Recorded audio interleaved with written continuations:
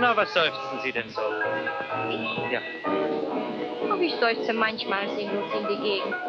Daran müssen Sie sich gewöhnen. Ich möchte mich gerne an alles gewöhnen, Fräulein Maria. Außerdem habe ich gar nicht gewöhnt. Ich sehe Sie Ihre Nasenspitze an, dass Sie gerne seufzen möchten. Oh, jetzt sind Sie auch noch Gedankenleser. Warum kommen Sie wirklich nicht mit Ihren kleinen Sorgen zu mir?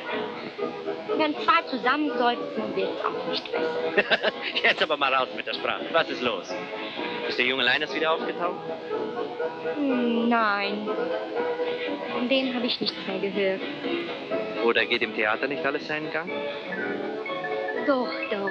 Na, na, na, na, na, na. Seit Tagen sitze ich im Theater herum und warte. Niemand kümmert sich um mich. Es ist zum Verrücktwerden. Wirklich? Und sie scheint sich darüber noch zu freuen. Ah, Nein, Maria, verstehen Sie mich doch richtig.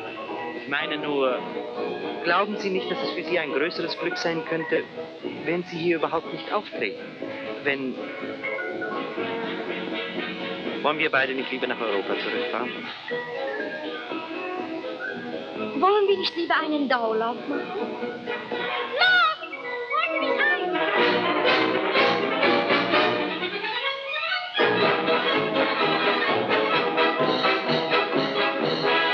Eingeholt. Gewonnen! Unsere Belohnung bekommen? Etwas zu essen. Aber Maria...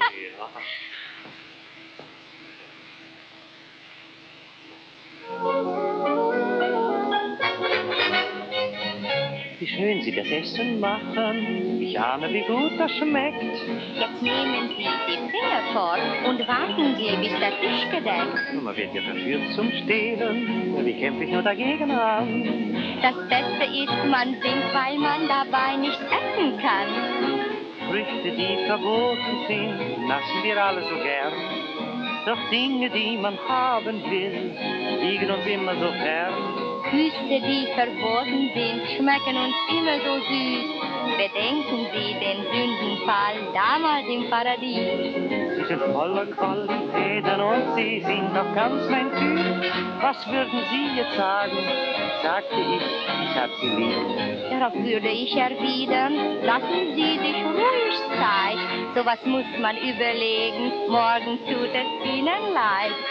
Früchte, die verboten sind, naschen wir alle so gern. Da fragt man sich im Stillen, warum liegt das Gute so fern?